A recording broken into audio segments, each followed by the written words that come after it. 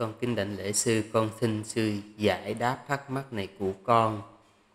Con có nghe sư giảng về tâm cần tử nghiệp thế nào thì sẽ hướng con người tái sinh về cõi thế đó. Và con có nhớ lại lúc con 14 tuổi học lớp 9, con đã có cơ hội trải qua cảm giác cận tử. Hôm đó đi tắm sông ở quê, con có cứu bạn con bị đuối nước Cứu bạn xong thì con mất sức và cũng bị đuối nước. Ban đầu con rất sợ hãi, sau à, đó thì con vùng vẫy thấy một luồng những hình ảnh quá khứ vụt qua trong đầu con. Đó, hình ảnh những việc ấn tượng cha mẹ anh em bạn bè rất nhanh. Hình ảnh đi rồi thì con lại suy nghĩ về tương lai. Như là chắc ba mẹ và người thân mình sẽ buồn lắm. Thằng bạn mình được cứu không biết nó nghĩ gì ta, chắc mọi người sẽ tự hào về mình chắc là sẽ có giấy khen dũng cảm trên tivi mình hay xem. Và thực sự lúc đó, con không còn cảm thấy sợ chết nữa, và mà là một cảm giác chấp nhận sự chết không còn vùng vẫy nữa, rất an nhiên. Nhưng con sau đó được một bạn khác cứu vào. Tuy nhiên con muốn hỏi sư, nếu chết lúc đó thì tâm của con là tâm tốt phải không? Nếu chết như vậy, con có được sinh thiên không thưa sư?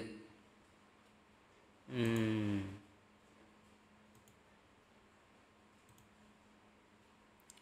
Quý vị biết là giữa cái ngã và cái vô ngã nó khác nhau một cái lần ranh này tức là mình giữa cái chuyện mà mình nghĩ về mình và nghĩ về người ờ, nó khác nhau một cái lần ranh thôi. Mà phải nói là sư chúc mừng. Đầu tiên là sư chúc mừng cái chuyện là quý vị ờ, vẫn còn sống. Tại vì mình còn sống thì mình còn tu mình còn tạo phước mình uh, tạo được những cái nghiệp thiện ha à, cái chúc mừng thứ hai là chúc mừng quý vị không có chết vào lúc đó. Chết vào lúc đó thì sự e là cái khả năng cao là mình à, mình vẫn xa đọa. Lý do? Vào giây phút cận tử đó mình nghĩ về người thân mình nghĩ về bạn bè.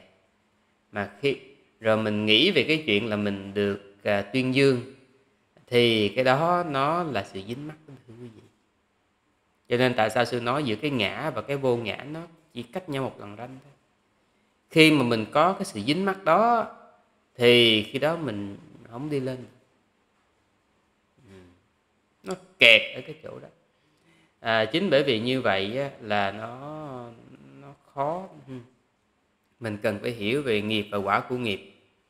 Bây giờ à, ở trong cái um, những cái tình huống như vậy á, mình phải làm sao? Một là mình à, tập trung mình nghĩ về cái điều thiện của mình. Nha điều thiện của mình. Ví dụ như à, mình đã cứu được người ta rồi thì như vậy mình có chết mình cũng không có tiếc. Mình nghĩ về cái điều thiện rồi từ cái điều thiện đó nó làm cho mình hoan hỷ thì cái hỷ trong cái thiện đó nó sẽ hộ cái tâm của mình trong cái giây phút cận tử như vậy mình có khả năng mình đi lên. Ừ. chứ còn giờ đó mình nghĩ uh, cha mẹ nghĩ bạn bè rồi nghĩ tới cái tivi là coi chừng mình đi xuống à, à. Rồi à, hoặc á, là mình nghĩ về à, cái à, à, những cái phương pháp tu ví dụ như là mình rã tâm từ chẳng hạn. À, thì sư nhớ là cũng có một à, cũng có một vị á, là hai anh em là đuối nước hai anh em đuối nước gần bờ nhưng mà hai anh em không đứa nào biết bơi hết. Có những trường hợp đuối nước gần bờ không đứa nào biết bơi hết. Thì cái thằng anh á nó à, khi mà nó chìm xuống như vậy đó nó mới suy nghĩ là thôi nếu có chết thì thôi chết một đứa thôi. Thế là nó nó đi ở dưới nước nó, chân nó đạp xuống dưới nước rồi cái tay của nó nó đẩy đứa em nó vô bờ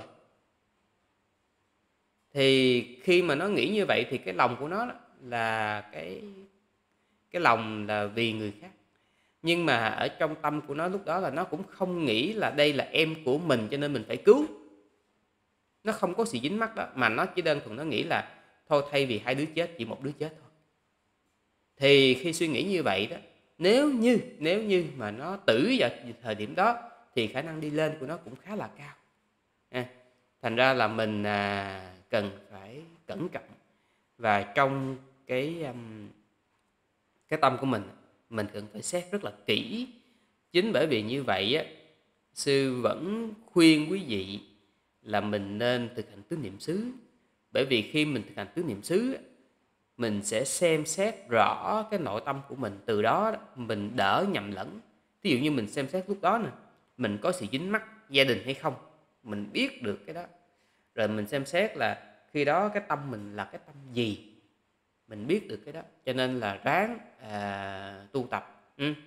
à, không biết là trường hợp này đại đức à, tuệ tường à, có chia sẻ như thế nào?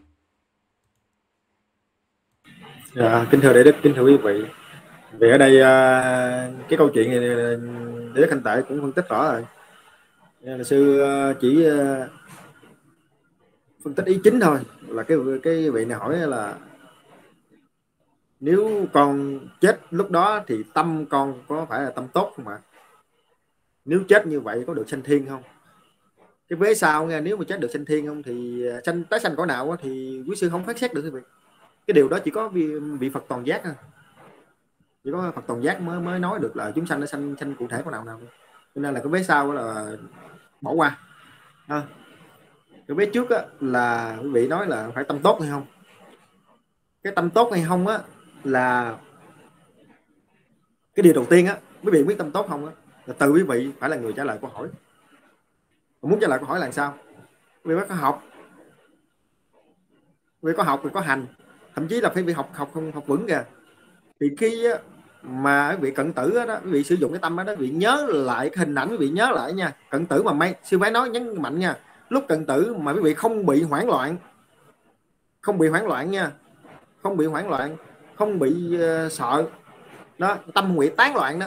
Bởi vì đủ bình tĩnh để bị nhớ lại nhớ lại à từng bố thí từng trì giới từng cúng dường à, à, từng tu thiền. Rồi vì nhớ lại những cái thiện nghiệp mình đã làm cho bản thân mình và cho người khác.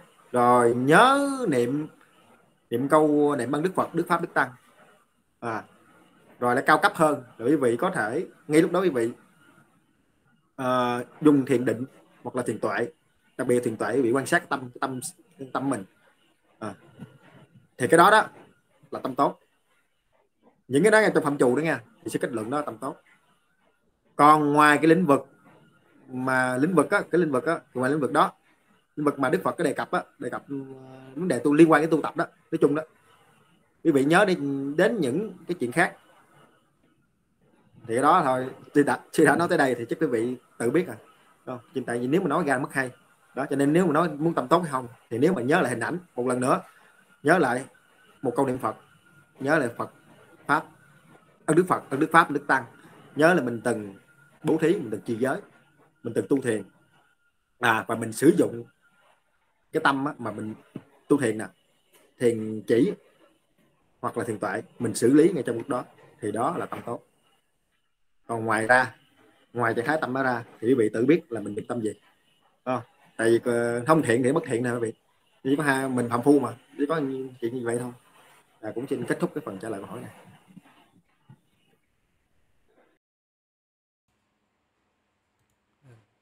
Ừ. Đại đức ờ, thầy tề tường đã nói một ý ờ, mà sư mong là quý vị sẽ lưu tâm. Đó là mình muốn chắc cái tâm mình là tâm thiện thì chỉ có tu thôi chỉ quán thì khi đó mình mới chắc cứu tâm mình là tâm thiện. Chứ còn những cái thứ khác mình nói thiệt là mình chỉ đoán mò. À, thì à, đó là cái mình phải lưu ý từ đó thôi. À, trong những cái trường hợp mà mình à, cận tử thì ráng à, dằn lòng à, một cái à, phương pháp chỉ quán. Nhờ như vậy đó thì mình có cái vé đi lên ở đời sau kiếp khác còn cái chuyện của vị tái sanh mà đi ở cõi nào thì xin thưa à, bản thân sư đi tụng không biết bao nhiêu đám rồi sư cũng không biết người ta đi cõi nào nữa. Tại sao vậy? Bởi vì các sư không có thần thông. Cái quan trọng là mình à, chứ còn mấy sư à, à, tụng ưu thương rồi mấy sư tới chia buồn mà quý vị à, sanh thiên quý vị ở chảnh vì cười ha hả thì ừ, ừ, à nó cũng vậy. Hoặc là mấy sư lên đây lên chỗ quý vị ờ, tụng ờ, 10 ngày, 20 ngày, 45 ngày ờ, để cầu quý vị sanh thiên mà mình làm ác quá rồi mình tới hồi mình chui ở dưới chảo mình chui ở dưới hang mình làm trùng làm dế thì mấy sư có tụng cũng vậy thôi ừ. cho nên vấn đề là ráng làm ơn làm phước à, dằn bỏ túi một cái phương pháp tu ha khi đó mới chắc cứu.